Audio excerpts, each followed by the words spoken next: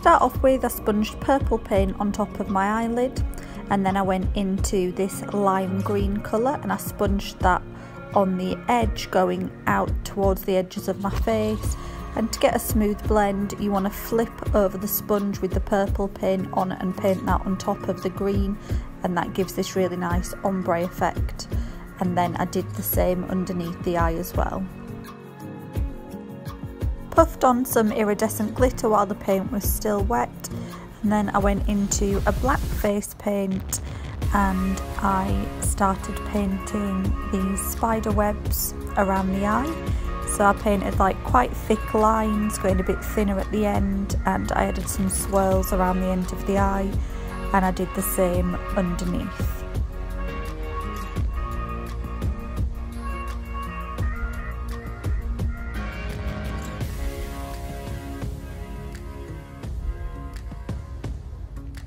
I then painted lines in between the vertical lines and this creates the spider web effect and I just started thicker at one side and then took the pressure off my brush to create this look where it's like a bit thicker at one side than the other. I then painted a spider in between the eyes and I did this by painting a small ball on top and a bigger one underneath and then painting two legs coming up from the body and two legs coming down. I then went in and added some black dots around the design.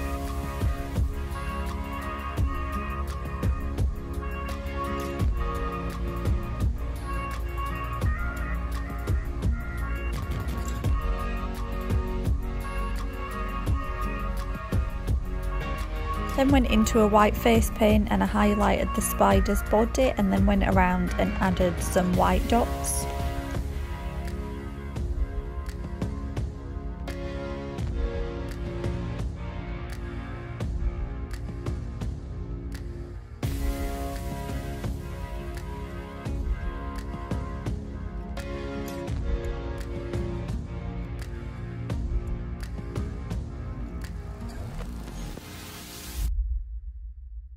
I then went into the Spooky Sparkles glitter set from Eco Stardust. I'll leave a link to this down below. It's now available on their website.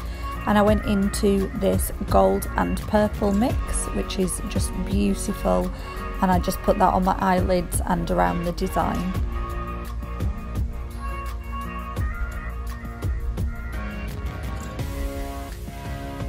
Their glitters are biodegradable and are vegan and cruelty free as well.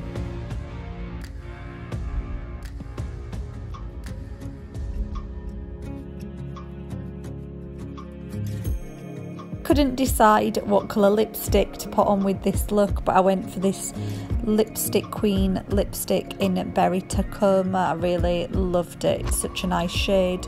And then I also added some kiss eyelashes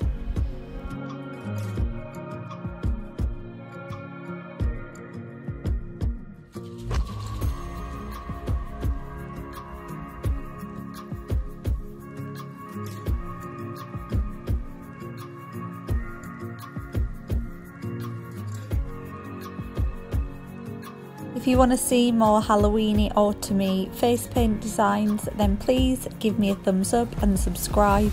I've got some really crazy um, ideas coming up over Halloween but I do want to stick to these quite simple ones as well so I hope you liked this tutorial and I hope you're all well and have an amazing day. Bye!